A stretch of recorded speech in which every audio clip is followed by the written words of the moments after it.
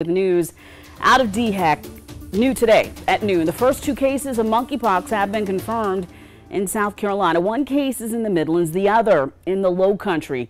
DHEC says the affected people will be monitored until they are no longer infectious in order to prevent the spread of the virus and they and if they will need to be isolated.